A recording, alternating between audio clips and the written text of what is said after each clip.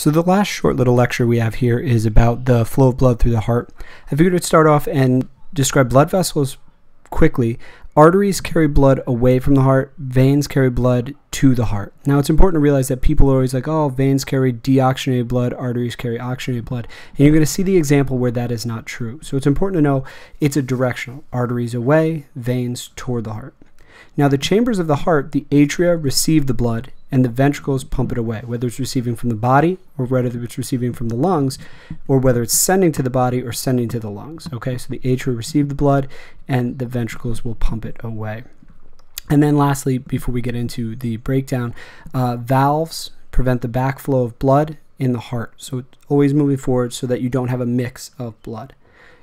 So when blood comes from the body, uh, it enters it comes from the body to the superior or inferior vena cava. If it's coming from above the heart, superior vena cava. It's coming from below the heart, inferior vena cava. And those both empty into the right atrium. Now you notice that I've used blue here. Remember we talked about blood isn't actually blue in color, but it's easier to understand blue deoxygenated than if I showed red and a darker color of red. So this just helps you to separate a little bit more as deoxygenate and oxygenate. Just again, as long as we understand that it's not accurate, it's just used to help you better understand it. So with the right atrium, before it can go into the right ventricle, it has to move through the tricuspid valve. Now, if you notice on this diagram, you're seeing the right atrium and the right ventricle are on the left side of the heart. So the pictures of hearts are always going to be as if you're looking at a person you're giving surgery to.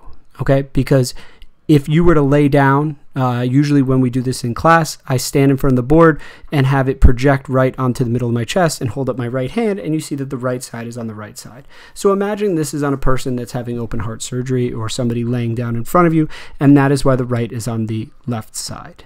Okay, so it's not your heart, it's a mirror image, or would, would be a reversed image. Okay, it'd be somebody laying down. So the right atrium goes through the tricuspid valve into the right ventricle, and then the right ventricle it moves through the pulmonary semilunar valve into the pulmonary artery. So here's an example of an artery with deoxygenated blood. Now, from the pulmonary artery, it's going to go to the lungs. At the lungs, it receives oxygen. Once it receives its oxygen, it comes via the pulmonary veins, again, veins with oxygenated blood, into the left atrium, the left receiving chamber.